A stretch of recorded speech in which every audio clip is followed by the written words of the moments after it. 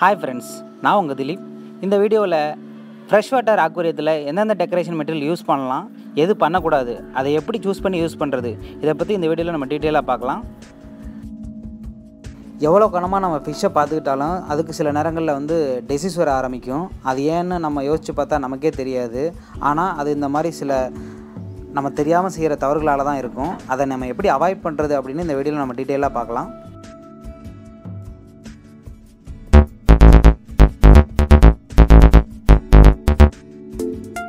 என்னுடைய சேனலை சப்ஸ்கிரைப் பண்ணாதங்க. பண்ணிவிடுங்க மறக்காமல் அந்த பெல் பட்டனையும் சேர்த்து ப்ரெஸ் பண்ணுங்கள் அப்போ தான் என்னோடய வீடியோஸை நீங்கள் மிஸ் பண்ணாமல் பார்க்க முடியும். பொதுவாக நம்ம இந்த நான்கு வகையான டெக்கரேஷன் மெட்டீரியல்ஸ் தான் அதிகம் யூஸ் பண்ணுவோம். அப்படி பார்த்தீங்க அப்படின்னா seashells corals driftwood ceramic materials plastic items அதாவது ஆர்டிஃபிஷியல் பிளான்ஸ் இந்த வகையான மெட்டீரியல் தான் நம்ம அதிகம் யூஸ் பண்ணுவோம். இது யூஸ் பண்ணுறதுனால என்னென்ன பாதிப்புகள் நம்ம ஃப்ரெஷ் வாட்டர் ஆக்குரியத்துக்கு வர வாய்ப்பு இருக்குது அதை நம்ம எப்படி அவாய்ட் பண்ணுறது அதை வராமல் நம்ம எப்படி யூஸ் பண்ணலாம் அப்படின்னு பார்க்கலாம். சீசெல்ஸ் அண்ட் கோரல்ஸ் இதை பற்றி பார்த்தோம் அப்படின்னா இது வந்து மெரைன் ஆக்குரியத்தில் அதிகம் யூஸ் பண்ணலாம்.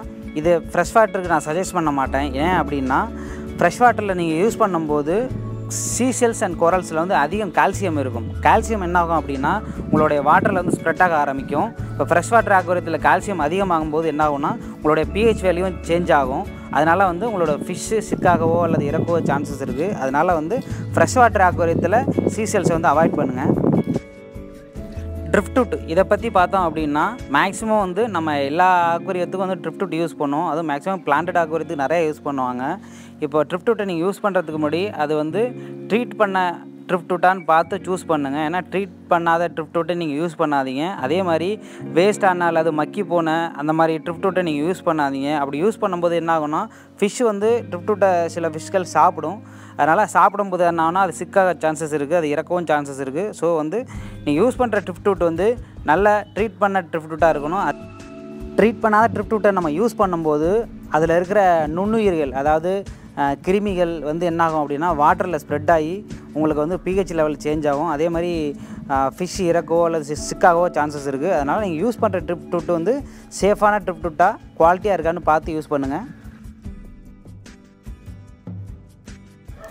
மூன்றாவது செராமிக் ஐட்டம்ஸு செராமிக்ஸில் செய்கிற மெட்டீரியல்ஸ் எல்லாம் பார்த்தீங்க அப்படின்னா இந்த பவுல்ஸு பிளேட்ஸு பாட்டு அந்த மாதிரி தொட்டி இது மாதிரி நம்ம அக்வரியத்தில் யூஸ் பண்ணுவோம்.